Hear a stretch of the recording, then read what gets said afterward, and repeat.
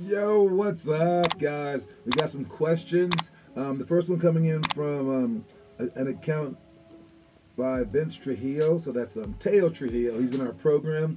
All right, Teo's um, Teo has a three-part question. So it goes: If you could teach something other than basketball, what would it be?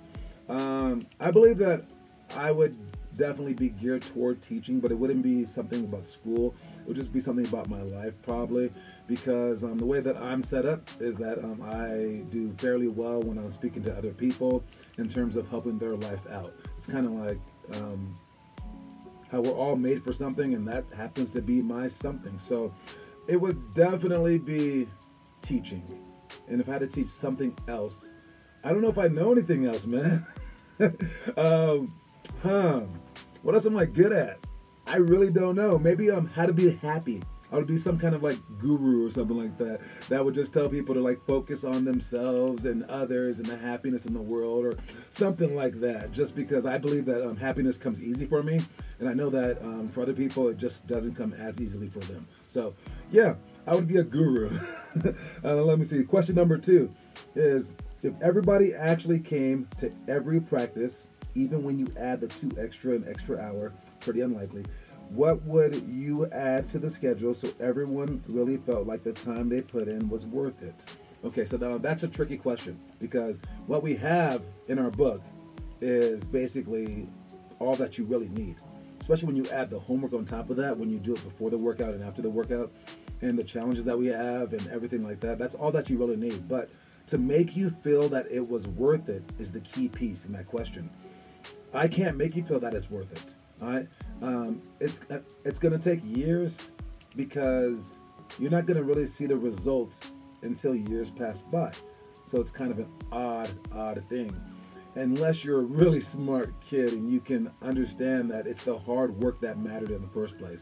Because I can provide you guys with like compliments or maybe like trophies or maybe like clout via um, highlight videos and things like that. Maybe just just like more applause, um, or even like in, during the games when you actually score more points.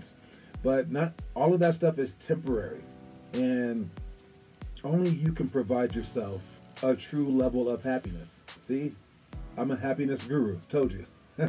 so yeah, um, you will never feel as though it's as though it's worth it until you decide that you've tried your hardest. I believe. All right. Um, when you try your hardest, that's all that matters. So there's nothing that I can really do besides provide you guys with perspective and an open gym and a curriculum. So that's what I've done, and I believe that the rest is kind of just up to you guys and to each their own because I mean, you'll get three different people doing the same exact thing with the same exact outcome in the world.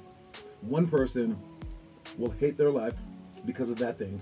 One person will overcome the challenges and constantly get through that same exact thing and think that they've done so much while the third person is just happy and who cares right? So it's not really up to the circumstances. It's up to each person. Um, the third question. Um, how would you suggest i can get better at finishing around the rim?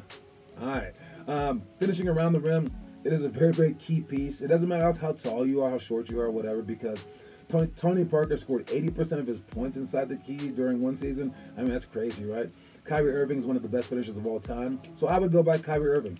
Uh, he says that um, all he does is do the um, the Mikan drills, the the the Mikan and the reverse Mikan drills that we have in our catalog of workouts, but he does them a little bit differently. He will shoot with his right hand off of his left leg and his left hand off of his right leg just like we do for all four. But he'll switch it up. So instead of just doing the front Mikan with the left hand off the right leg, he'll do it off the right leg with the right hand on that same side. And then he'll also do it from that same side with the left hand off the left leg. So for each one that we know of, with the right hand Mikan, left hand Mikan, right hand reverse Mikan, left hand reverse Mikan, he adds four to each and every single slot. So there's 16 different workouts. So you can check it out online if you don't understand it. But um, we might have some kid do it actually too, um, just to show you guys what it's all about. Um, I've never done that, but I do know that he's one of the best finishers of all time. So that might be a fantastic way to become a great finisher. I know that you're a very bold player, Teo. Um, I think that being brave is part of it and um, just getting up the reps is another part of it.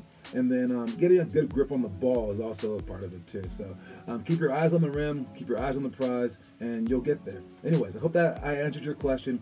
If any of you guys have any questions, anytime, just let me know by commenting on any of our videos, and I promise I will get around to it eventually. Okay? Ask any question that you want, and we're here for you any time of day. All right, you guys. Talk to y'all later. Peace.